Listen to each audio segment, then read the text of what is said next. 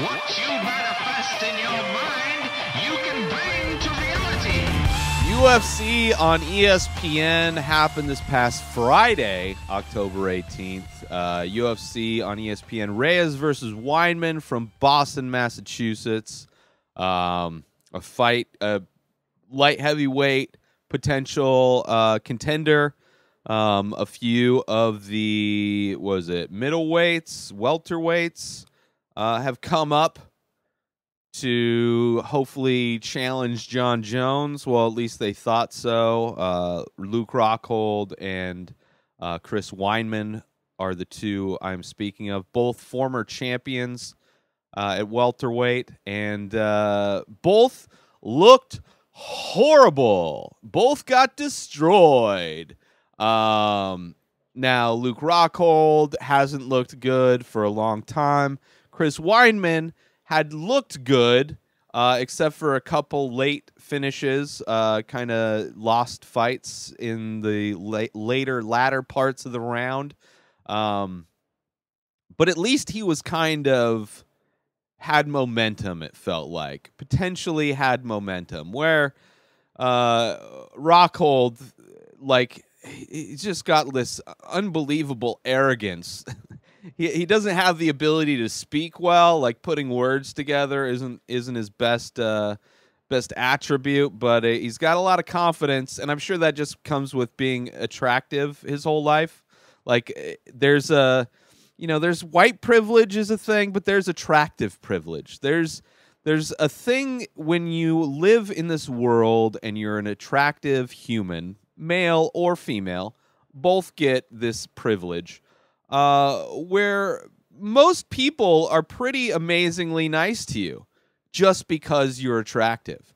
Um, now, they may also think you're stupid, uh, but that's a lot of the times that's not far off. Not that there's not smart, uh, uh, gorgeous people out there, but because of the privilege of being attractive, uh, you don't have to be smart. You don't have to focus on trying to get a personality or uh, work on your intelligence.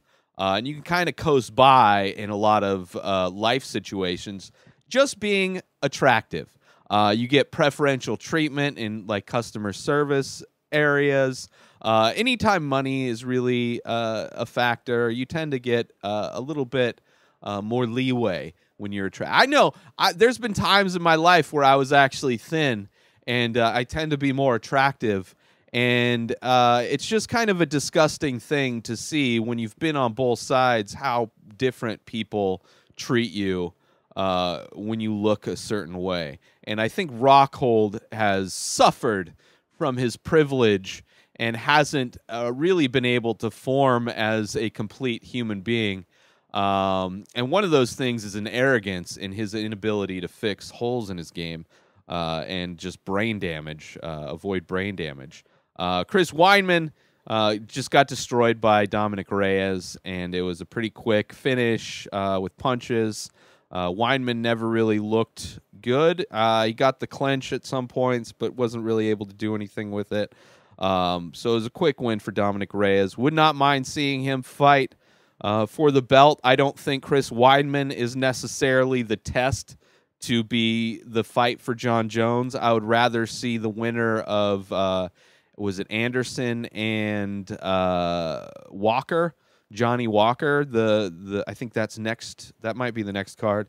That I believe to be more of a number one contender fight uh, rather than Chris Weidman.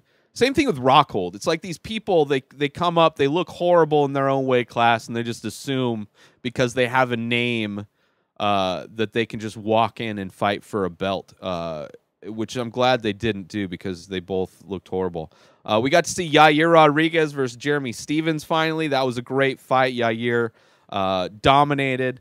Uh, Stephens came back in the third round, I think, but it wasn't enough to to win the fight. Greg Hardy is a piece of shit. He shouldn't be fighting. Uh, he should for sure be suspended for using a steroid during a fight. He used his inhaler uh, after the second round before the third round. Uh, clearly, he was gassing. It was the longest he's ever been in the cage during a fight.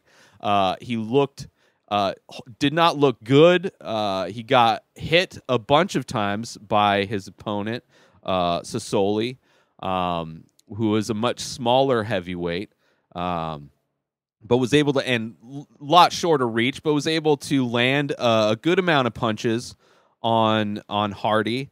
Um, and Hardy poked. I would love to see the eye poke count because he probably exceeded exponentially any other previous amount of eye pokes ever sustained in the UF in a UFC fight. Like he was poking eyes consistently throughout. Like there used to be a thing with Jon Jones poking an eye, which I think it's been a while since Jon has actually poked an eye. He's been poked in the eye, and like I think Cormier's probably poked more people in the eye since uh, in the past few years than Jon Jones has. I mean, eye pokes definitely happen, uh, but I think Greg Hardy is just a dirty fighter.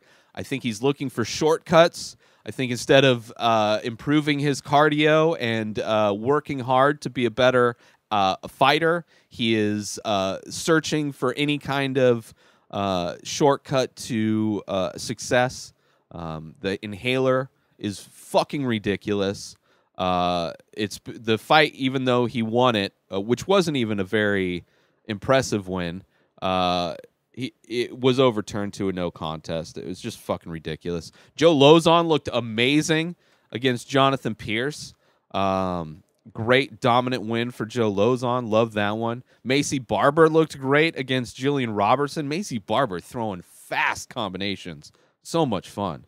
Uh, just overall, it was a fun win. Darren uh, Darren Stewart uh, versus oh no, Darren Stewart versus Deron Winn. Deron Winn remind me a lot of DC. Should lose weight. He probably fight down another weight class. Did a lot of wrestling, but I don't think he won it. There are people that were arguing that he won that fight. I don't think he won it at all. Um, but yeah, overall, it was a fun fight. Uh, fun night of card. A fun night of fights on the card. Um, but yeah, yeah, for sure. Uh, so next week on Saturday, it should be it's Demian Maia taking on Ben Askren for UFC Fight Night. Maia versus Askren, October 26th uh, from Singapore. Uh, both grapplers, Maia and Askren. Uh, Maia is one of the few jiu-jitsu phenoms, uh, legends that uh, is actually good at takedowns.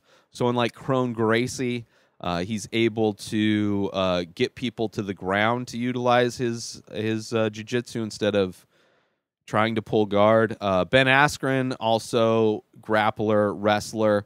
Uh, probably it's. I would imagine. I would not be surprised actually if this one stays on the feet and Demian Maia wins it on the feet. I think he might be able to keep it on the feet. Uh, but if it does go to the ground, I'm I'm hopeful for Maia's uh, abilities. Uh, but it'll be the first time I think that we see Askren in the UFC uh, doing a lot of grappling. There hasn't been. He's only been in two fights, and they've been pretty striking heavy. Although the last fight was just short in general. Um, who else? Michael Johnson is back against Stevie Ray uh, in lightweight. Frankie Camacho, Frank Camacho versus Beneil Dariush. Another lightweight fight on ESPN Plus, which is nice. The main card's on ESPN Plus because it's harder for me to see ESPN stuff. Which the prelim is on uh, regular ESPN. Randa Markos is back against Ashley Yoder, Alex White, uh, Barzola, uh, Marcia Green. Um, pretty fun, pretty fun card. Not as um, many names, but same thing with the last card, the Boston card, uh, which was a lot of fun. Uh, this one could end up being a lot of fun. Uh, and it'll be interesting to see if Demian Maia uh, or Ben Askren rather can uh, turn things around and get another run going, maybe fight for a belt. But I don't know. He's very he's pretty much a one-sided fighter, one-dimensional fighter in a lot of ways. So we'll see. Uh, with this matchup, it's going to be a completely different matchup than we've seen him uh, in so far. So uh, we'll see if we get to see some grappling. But I, I think it's going to be on the feet primarily, and uh, Demian Maia is a better boxer for sure. Um, so I, I, I wouldn't be surprised if Maia wins this one. Uh, but that's it for the fights. Uh, fun card from Boston. Looking forward to the Singapore card. Um, at least the main card. I'm sure will be fun. Maybe I'll check out some. There's uh, fun highlights. I'll go back and watch the prelim card. Uh, but yeah, that's it for this episode of the Ray Taylor Show. New episodes do come out every single day, so you can go subscribe over at YouTube or IGTV or everywhere else podcasts are found. You can buy my artwork over at inspireddisorder.com and save 25% when you use coupon code RTS at Ray Taylor for me on all social media. Have a wonderful day, everybody. Peace out.